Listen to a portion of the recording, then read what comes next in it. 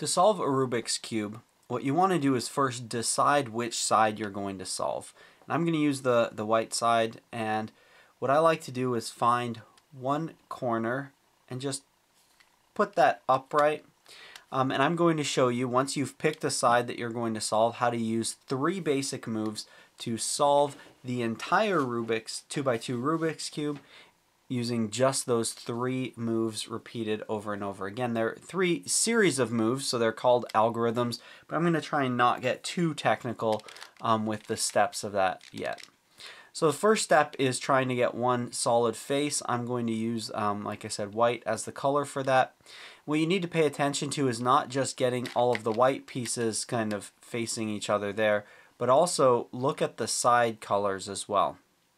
So here I want one that's white and blue, and that piece is right there, white and blue. To get this piece up to here, I put it directly beneath where it needs to go, and this is the series of moves I do. I turn the face counterclockwise, I turn the down section here clockwise, and then I turn my face back. Notice that brought this piece from here up to here, and it lines up the two blue sections. So that's perfect. Um, I'm going to now put this piece that has white and orange up to there using that same series of moves. I turn the face, the bottom, or the down, and then the face right there. I'm going to do the same thing with this piece, but first I have to twist it so that it's directly under where it needs to go. Notice this is the white, red, and green, so it's going to go right between those two. And I'm going to do the same move, only in this way it's kind of the reverse of that, because I turn the face clockwise, then I turn the bottom clockwise, and then the face counterclockwise. And that will bring that to there. Now that you have the top solved, we are going I'm going to show you two algorithms or two series of moves that will get this bottom section completely solved without messing up the top.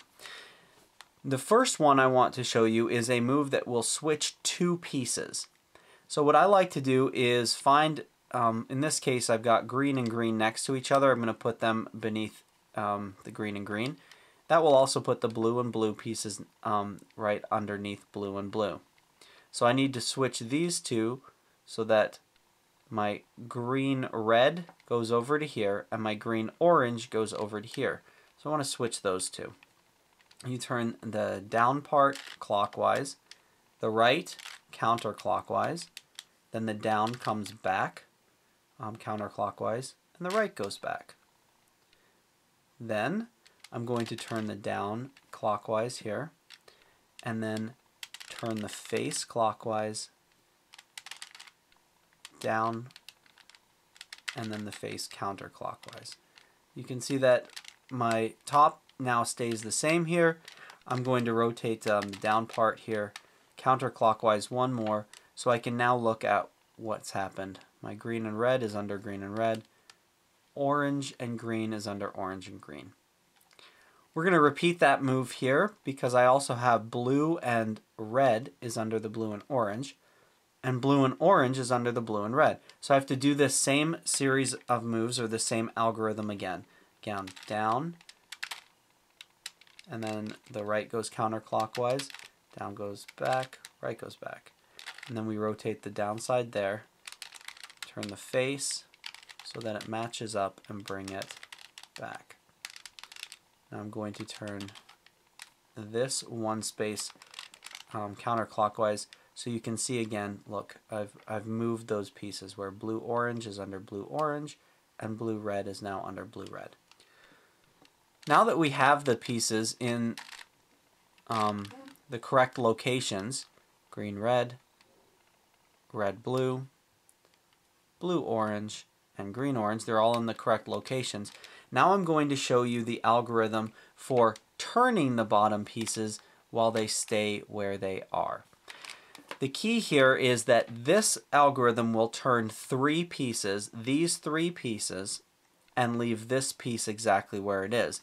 The sides that will end up, or the faces of these corners that will end up being down are kind of like hitting the front end, front end, and sort of front end. So it's there, there, and there. those are the, the faces that will end up um, being down.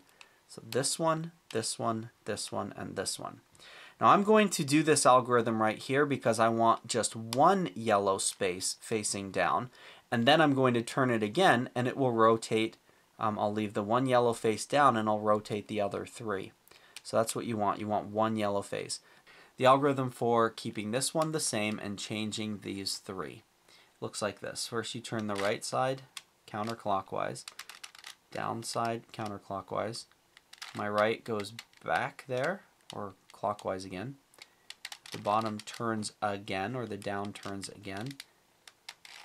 And I'm going to bring the right counterclockwise and turn the bottom two spaces. It doesn't matter which direction you turn it to go to.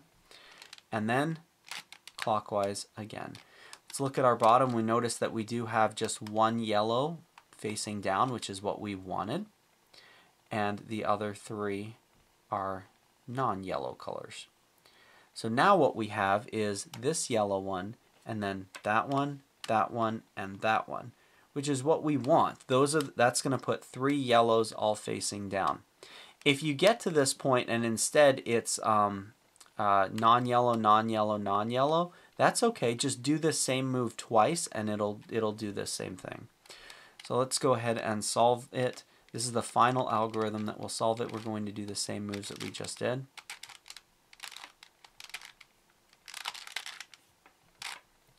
and it will solve the Rubik's Cube. So there it is, the full solution for solving the 2x2 Rubik's Cube. Hope that video was helpful for you. Have a wonderful day.